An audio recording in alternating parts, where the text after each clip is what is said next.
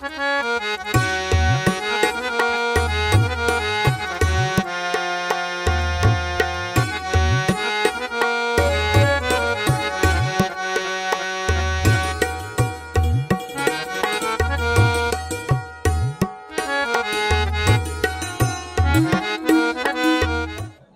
ਗੁਰੂ ਨਾਨਕ ਦੇਵ ਜੀ ਦੇ ਵਿਆਹ ਪੁਰਬ ਨੂੰ ਲੈ ਕੇ ਸੰਗਤਾਂ ਦਾ ਇੱਕ ਹੜ ਇਹ ਕਹਿ ਸਕਦੇ ਕਿ ਹੜ ਜਿਹੜਾ ਬਟਾਲੇ ਦੀ ਧਰਤੀ ਦੇ ਉੱਤੇ ਆ ਔਰ ਤਸਵੀਰਾਂ ਨੇ, ਮੈਂ ਤਸਵੀਰਾਂ ਦਿਖਾਵਾਂਗਾ ਗੁਰਦੁਆਰਾ, ਇਤਿਹਾਸਿਕ ਗੁਰਦੁਆਰਾ ਸ਼੍ਰੀ ਕੰਧ ਸਾਹਿਬ ਦੀ। ਦੀਆਂ ਔਰ ਤਸਵੀਰਾਂ ਤੁਸੀਂ ਦੇਖ ਸਕਦੇ ਹੋ, ਦਰਸ਼ਨ ਕਰ ਸਕਦੇ ਹੋ, ਉਹ ਗੁਰਦੁਆਰਾ ਸਾਹਿਬ ਜੀ ਜਿਹਦੀ ਜਿੱਥੇ ਕਦੇ ਗੁਰੂ ਨਾਨਕ ਸਾਹਿਬ ਵਿਆਹਣ ਆਏ, ਇਸ ਧਰਤੀ ਤੇ ਬਟਾਲੇ, ਤਾਂ ਇੱਥੇ ਬਰਾਤ ਦਾ ਢੁਕਾ ਹੁੰਦਾ ਹੈ। ਔਰ ਉਸ ਜਗ੍ਹਾ ਤੇ ਲੋਕ ਨਤਮਸਤਕ ਹੋਣ ਲਈ ਹਰ ਸਾਲ ਪਹੁੰਚਦੇ ਨੇ ਵੱਡੀ ਗਿਣਤੀ ਦੇ ਵਿੱਚ ਦੇਸ਼, ਵਿਦੇਸ਼ ਤੋਂ ਜਿਹੜੀ ਇਹ ਸੰਗਤ ਲੱਖਾਂ ਦੀ ਗਿਣਤੀ ਦੇ ਵਿੱਚ ਪਹੁੰਚਦੀ ਹੈ ਔਰ ਜੋੜ ਮੇਲਾ ਜਦਕਿ 22 ਸਤੰਬਰ ਨੂੰ ਹੋਵੇਗਾ, ਜਿਹੜਾ ਵਿਆਹ ਪੁਰਬ ਦਾ ਦਿਹਾੜਾ ਤੇ ਸੰਗਤਾਂ ਦੀ ਆਮਦ ਜਿਹੜੀ ਆ ਉਹ ਦੂਰ ਦਰਾਡੇ ਤੋਂ ਸ਼ੁਰੂ ਹੋ ਚੁੱਕੀ ਹੈ ਔਰ ਤਸਵੀਰਾਂ 'ਚ ਤੁਸੀਂ ਦੇਖ ਸਕਦੇ ਹੋ। ਇਹ ਤਸਵੀਰਾਂ ਨੇ ਗੁਰਦੁਆਰਾ ਸ਼੍ਰੀ ਕੰਧ ਸਾਹਿਬ ਦੀਆਂ। ਵੱਖ-ਵੱਖ ਤਰ੍ਹਾਂ ਦੀਆਂ ਡਿਊਟੀਆਂ ਨਿਭਾਈਆਂ ਜਾ ਰਹੀਆਂ, ਨੌਜਵਾਨ ਡਿਊਟੀਆਂ ਨਿਭਾ ਰਹੇ ਨੇ, ਜਿੱਥੇ ਐਸਜੀਪੀਸੀ ਦੇ ਸੇਵਾਦਾਰਾਂ ਵੱਲੋਂ ਡਿਊਟੀਆਂ ਨੇ। ਜੋੜਾ ਘਰ ਦੀਆਂ ਤਸਵੀਰਾਂ ਦੇਖੋਗੇ ਤਾਂ ਉੱਥੇ ਵੀ ਦੇਖੋ ਇੱਕ ਸੰਗਤਾਂ ਦਾ ਜਿਹੜਾ ਇੱਕ ਵੱਡਾ ਰਸ਼, ਜਿਹੜਾ ਇੱਕ ਵੱਡੀ ਗਿਣਤੀ ਦੇ ਵਿੱਚ ਸੰਗਤਾਂ ਜਿਹੜੀਆਂ ਪਹੁੰਚ ਰਹੀਆਂ ਨੇ। ਸੇਵਾ, ਜੋੜੇ ਘਰ ਦੀ ਵੀ ਸੇਵਾ ਮਿਲ ਦੇ ਵਿੱਚ, ਜਿਹੜੇ ਨੌਜਵਾਨ ਨੇ ਵੱਡੀ ਗਿਣਤੀ ਦੇ ਵਿੱਚ ਇਕੱਤਰ ਹੋਏ ਨੇ, ਲੋਕ ਬਟਾਲੇ ਦੇ ਲੋਕ ਐਵੇਂ ਸਵਾਗਤ ਕਰਦੇ ਨੇ ਸੰਗਤ ਦਾ, ਜਿਵੇਂ ਇੱਕ ਉਹਨਾਂ ਦੇ ਘਰ ਇੱਕ ਬਹੁਤ ਅਡੀਕ ਰਹਿੰਦੀ ਹੈ। ਬਟਾਲੇ ਦੀ ਸੰਗਤ ਨੂੰ ਇੱਕ ਅਡੀਕ ਰਹਿੰਦੀ ਹੈ ਹਰ ਸਾਲ। ਔਰ ਸ੍ਰੀ ਗੁਰੂ ਨਾਨਕ ਦੇਵ ਜੀ ਦੇ ਵਿਆਹ ਪੁਰਬ ਨੂੰ ਲੈ ਕੇ ਤੁਸੀਂ ਦੇਖ ਸਕਦੇ ਹੋ ਸੇਵਾ ਭਾਵਨਾ ਜਿਹੜੀ ਹੈ ਲੋਕਾਂ ਦੇ ਵਿੱਚ ਦੇਖਣ ਨੂੰ ਮਿਲਦੀ ਗਈ ਹੈ।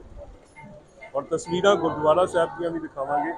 ਗੁਰਦੁਆਰਾ ਸਾਹਿਬ ਦੇ ਦਰਸ਼ਨ ਔਰ ਉਸ ਕੰਧ ਦੇ ਦਰਸ਼ਨ ਜਿੱਥੇ ਬਰਾਤ ਦਾ ਢੁਕਾ ਹੁੰਦਾ ਔਰ ਸ੍ਰੀ ਗੁਰੂ ਨਾਨਕ ਦੇਵ ਜੀ ਉੱਥੇ ਪਹੁੰਚਦੇ ਨੇ, ਉਹ ਗੁਰਦੁਆਰਾ ਸਾਹਿਬ ਦੇ ਦਰਸ਼ਨ ਕਰਾਵਾਂਗੇ ਪਵਿੱਤਰ ਸਥਾਨ ਗੁਰੂ ਨਾਨਕ ਪਾਤਸ਼ਾਹ। ਇਸ ਅਸਥਾਨ ਤੇ ਜਦੋਂ ਸਤਿਗੁਰੂ ਗੁਰੂ ਨਾਨਕ ਪਾਤਸ਼ਾਹ ਜੀ ਅੱਜ ਤੋਂ 536 ਸਾਲ ਪਹਿਲਾਂ ਗੁਰੂ ਨਾਨਕ ਦੇਵ ਮਹਾਰਾਜ ਜੀ ਵਿਆਹਣ ਲਈ ਆਏ, ਸਤਿਗੁਰਾਂ ਦੀ ਬਰਾਤ ਦਾ ਪੜਾਅ ਇਸ ਸਥਾਨ ਤੇ ਹੋਏ ਸਕਾਚੀ ਕੰਧ ਦੇ ਕੋਲ ਗੁਰੂ ਨਾਨਕ ਦੇਵ ਮਹਾਰਾਜ ਜੀ ਨੇ ਆ ਕੇ ਆਸਣ ਲਾਏ ਤੇ ਇਸ ਕੱਚੀ ਕੰਧ ਨੂੰ ਸਤਿਗੁਰਾਂ ਨੇ ਆਸ਼ੀਰਵਾਦ ਬਖਸ਼ਿਆ।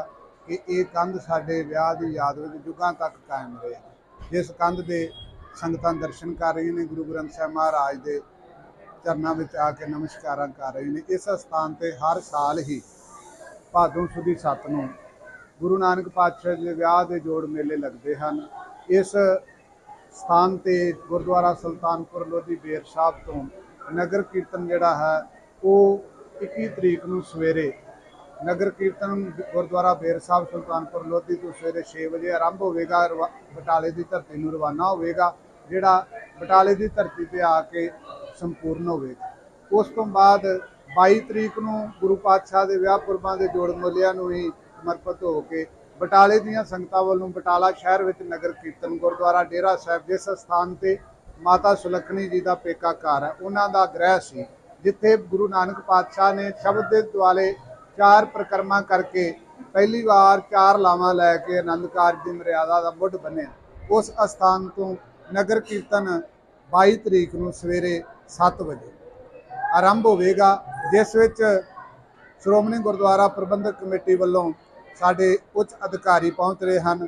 ਪ੍ਰਧਾਨ ਸਾਹਿਬ ਦੇ ਪਹੁੰਚਣ ਦੇ ਵੀ ਜਿਹੜੀ ਆਸ ਹੈ, ਸਾਨੂੰ ਉਹਨਾਂ ਨੂੰ ਵੀ ਬੇਨਤੀ ਕੀਤੀ ਹੈ। ਸ੍ਰੀ ਅਕਾਲ ਤਖਤ ਸਾਹਿਬ ਦੇ ਜਥੇਦਾਰ ਸਾਹਿਬ ਸਾਹਿਬ ਜੀ ਨੂੰ ਵੀ ਬੇਨਤੀ ਕੀਤੀ ਗਈ ਹੈ ਉਹਨਾਂ ਦੇ ਪਹੁੰਚਣ ਦੀ ਵੀ ਆਸ ਹੈ ਤੇ ਹੋਰ ਇਲਾਕੇ ਦੀਆਂ ਸ- ਸਰਬੱਤ ਸੰਗਤਾਂ ਨੂੰ ਨਾਲ ਲੈ ਕੇ ਪੰਜ ਪਿਆਰੇ ਸਿੰਘ ਸਾਹਿਬਾਨਾਂ ਦੀ ਅਗਵਾਈ, ਗੁਰੂ ਗ੍ਰੰਥ ਸਾਹਿਬ ਮਹਾਰਾਜ ਦੀ ਛਤਰ ਛਾਇਆ ਵਿੱਚ ਇਹ ਨਗਰ ਕੀਰਤਨ ਸ- ਸਮੁੱਚੇ ਬਟਾਲੇ ਸ਼ਹਿਰ ਵਿੱਚੋਂ ਗੁਰੂ ਮਹਾਰਾਜ ਜੀ ਦੇ ਨਗਰ ਕੀਰਤਨ ਚੱਲਣਗੇ। ਇਸ ਤਰ੍ਹਾਂ ਇਹ ਸ- ਵਿਆਹ ਪੁਰਬਾਂ ਦੇ ਜਿਹੜੇ ਜੋੜ ਮੇਲੇ ਨੇ, ਗੁਰੂ ਕੀਆਂ ਸੰਗਤਾਂ ਦੇ ਸਹਿਯੋਗ ਨਾਲ ਸ਼੍ਰੋਮਣੀ ਗੁਰਦੁਆਰਾ ਪ੍ਰਬੰਧਕ ਕਮੇਟੀ ਦੇ ਪ੍ਰਬੰਧ ਵਿੱਚ ਸੱਜੇ ਢੰਗ ਨਾਲ ਗੁਰੂ ਮਹਾਰਾਜ ਦੇ ਚਰਨਾਂ ਵਿੱਚ ਅਰਦਾਸ ਕਰਦੇ ਹਾਂ, ਸੰਪੂਰਨ ਹੋਣਗੇ।